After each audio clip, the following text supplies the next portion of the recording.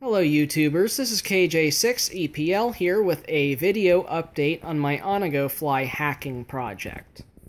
For those of you who are watching on YouTube and haven't read my blog, I have embarked on a project to get this flyable with this, or any other PPM transmitter such as a Taranis for example. I'm just using a FlySky i6 because, well, I'm cheap.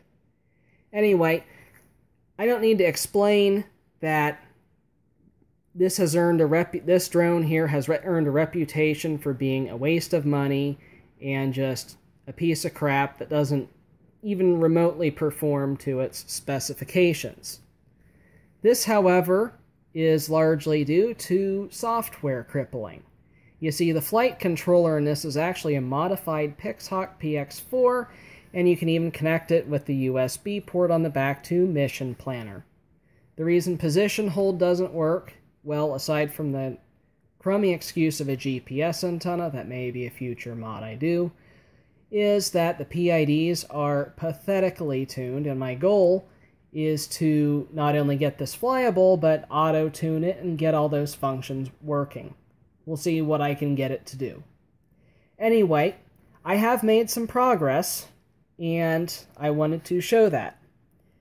I have successfully installed the um, FlySky FS-A8S micro PPM receiver. However, because I've done the 10 channel firmware hack on this radio, I have to use iBus. So there's a couple extra steps that I'll have to do. Um, if you want the 10 channels and you don't want to do the firmware hack and mess with iBus, I believe FlySky has released an updated version of this transmitter. I think it's like the i6X or something to that effect that has PPM working to 8 channels and S-Bus and iBus working with 10 channels. 8's really all you need, but that firmware hack gives you 10, so why not? Anyway, let me go ahead and power this on.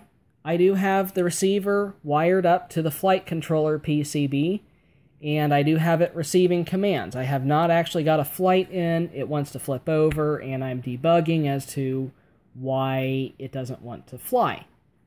But I'll demonstrate that I would demonstrate in the meantime um, the drone arming and the motor spinning up via the transmitter. So I'll go ahead and power it on.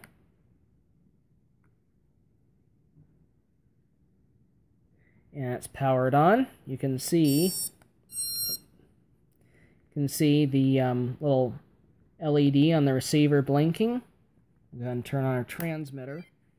You can do that in any order. You can turn on the TX first or power on the drone. But anyway, you can see the light has gone solid. We are now bound to the FlySky transmitter. Now, because I'm using iBus, as I explained, you have to manually switch this receiver each and every time, or at least I haven't found a way to permanently put it in iBus mode. And to do that, you hold down the bind button for two seconds until the LED blinks and goes solid again. Okay, we're now in iBus mode. So now we'll go ahead and arm the motors and spin them up.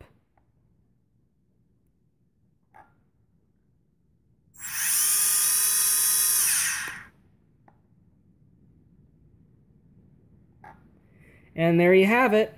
The OnagoFly receiving commands from a standard PPM transmitter. I'll keep you posted with updates, and of course, hopefully, a flight video once I've figured out the quirks. Bye.